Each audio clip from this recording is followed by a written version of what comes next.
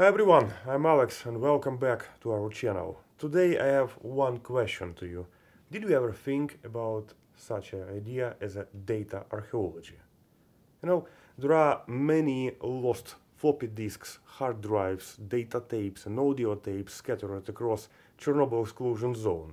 They can be often found in places that operated long time after disaster and there is always the chance that they contain something really important about that hard days. And uh, with gradual degradation of the media, likely this data will disappear once and forever.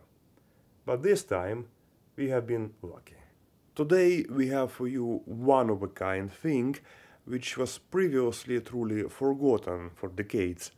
This is the audio tape recording approximately 1987 straight at the Chernobyl nuclear power plant, which we could digitize straight on site.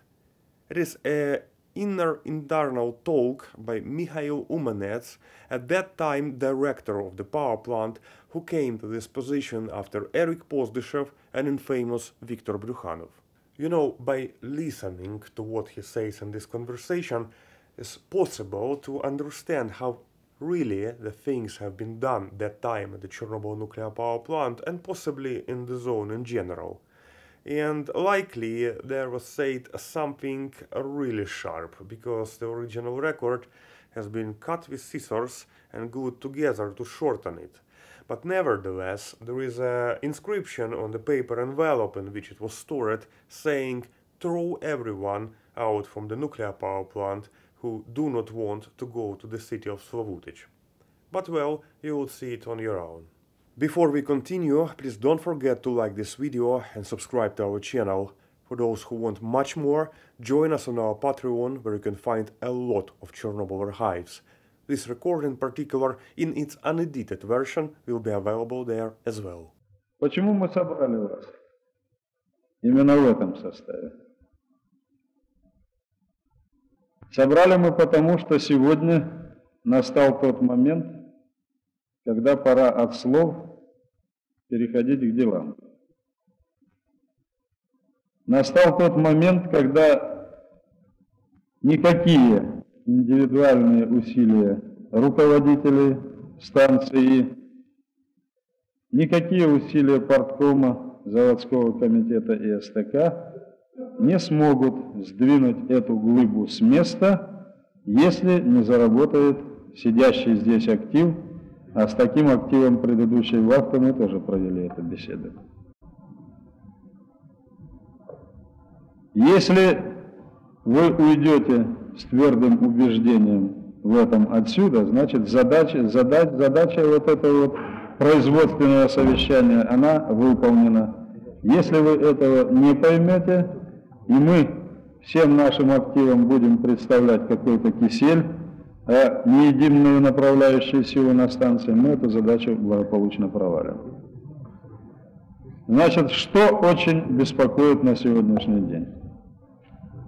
Являясь председателем штаба по распределению жилья, я могу сказать следующее, что каких-то перемедленно уведомления об увольнении с предприятия. Мало того, к ним добавляется еще одна категория – их, правда, поменьше, 30 человек. Эти игрались вплоть до получения ордеров. И теперь отказываются ехать в город Славутич. Мы просили предыдущую вахту и просим вас, поскольку они получили ордера и не имеют права после этого на зеленый мыс, из зеленого мыса вы их вытряхнем, а вы сделаете так, чтобы их коллектив на запасных коечках не держал. Пусть уходят со станции немедленно. Нам такие люди не нужны. Второе, на чем бы я хотел остановиться, это вопрос подготовки кадров. Значит, дорогие товарищи, это коренной вопрос сегодняшнего момента, если хотите. Значит, у нас есть много категорий людей. Есть категория, о которой мы уже сказали, 160 и 30, наверное, от нее ожидать чего-нибудь приличного пользы для нашей станции бесполезно. Но у нас есть категория припятчан абсолютное большинство из которых, я убежден, значит, расстаются со станцией с сожалением, беспокоятся о ее будущем, об этой, о будущем этой станции. И поэтому, опираясь на них, нам нужно самым серьезным образом изменить свое отношение к обучению персонала. Персонал на экзаменах показывает отвратные знания. Плохо знает географию, просидев здесь по полгода и более. Поэтому просьба такого характера. Надо, чтобы появился элемент ответственности в цехе за обучение персонала, как административный элемент. А для этого должны выйти приказы по цехам, должны выйти на этой неделе в обязательном порядке. На мой взгляд, заместители начальники цехов по ремонту и по эксплуатации должны нести персональную ответственность за подготовку персонала. И кроме того, естественно, должна появиться партийная ответственность, комсомольская ответственность, профсоюзная и ответственность Советов трудовых коллективов. Моральная ответственность за этот вопрос. В этом сейчас может быть больше главного, чем в переезде в город Славутич. Ну и, наконец, я бы хотел остановиться по самой комплектации персонала. Вы чувствуете, что набрать нам, даже по последним заявкам цехов, еще надо более 750 человек. Значит, положение наше сложное. Со станций с родственных люди к нам не идут. Мы набираем вольным наймом из Министерства среднего машиностроения из закрытых городов. Мы набираем молодых специалистов. Значит, я бы хотел, чтобы люди, которые занимаются этими вопросами, а я здесь вижу и начальников цехов некоторых, ни в коем случае, несмотря вроде бы на тот цейтнот, который образовался по набору кадров, мы вроде бы не успеваем к 1 октября, ни в коем случае не снижали требовательности принимаемым людям. Я понимаю, что переживает Иван Николаевич Царенко, переживает начальник отдела кадров, им бы поскорее нас укомплектовать по численности, а там, ребят, кувыркайтесь как хотите. Давайте этого не делать. Значит, как ковырялись вы, мы и так не сумели с вами подключить наш коллектив в силу нашего вахтового метода к приему коллектива, но все-таки на начальниках мы как-то держались. Давайте эту политику продолжим и будем набирать людей с большой ответственностью.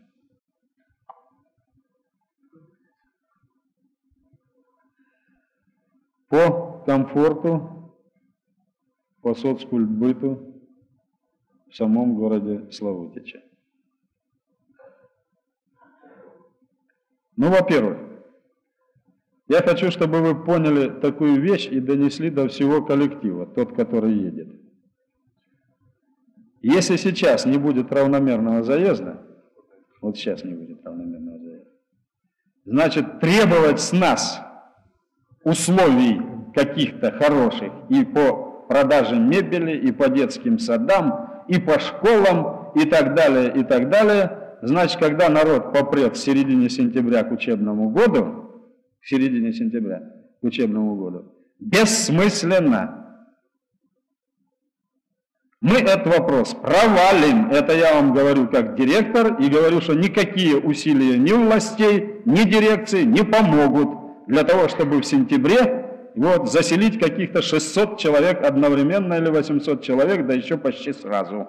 Ни машин не будет для перевозки мебели, ничего не будет. Все наши обещания повиснут в воздухе по вине тех, кто не едет сегодня, а не по вине дирекции и не по вине порткома. Это я прошу и самих понять, и передать всем остальным.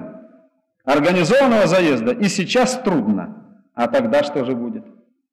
Детские сады не укомплектованы, ждут наших вторых членов семьи. Школы не укомплектованы, ждут вторых членов семьи. Предприятия, обслуживающие дома, не укомплектованы, музыкальные школы не укомплектованы, спортивное сооружение не укомплектовано, ничего не укомплектовано, ждут нас. А мы ведем себя так. Значит, я съезжу в отпуск, мы отдохнем вместе с семьей, а потом приедем и потом посмотрим, когда будем заезжать в город Славутич. на сегодняшний день это, значит, та самая проблема, где свои интересы надо бы на 10 дней пожертвовать этими интересами и заселиться в город Славутич для того, чтобы решить общественные интересы. Хоть здесь-то надо поступиться, а таких очень много. Очень много людей, которые по непонятным причинам затягивают с этим. Основная причина следующая. Над людьми не капает сегодня. Они устроены и они довольны. Они решают только, значит, свои задачки, забывая о задачках коллектива, забывая об общественных задачах. Это не гражданское поведение. Я бы попросил с каждым персонально поработать. У нас только сегодня около 750 ордеров выписано, а 250 человек из этих по, по этим ордерам еще на сегодняшний день не заехали. И я по, это имейте в виду, ведь ваш цехов много, если у вас по два, по три таких человека, это по станции нарастает глыба. Займитесь этими людьми и немедленно переселите их в Славутич. Impressive, isn't it? Let us know in the comments what do you think about all of this. If you want to learn something more, just also let us know, we will help you to understand and we will explain. Don't forget to like this video, subscribe to our channel, and don't forget that much more you can find in our Patreon page. And see you next time.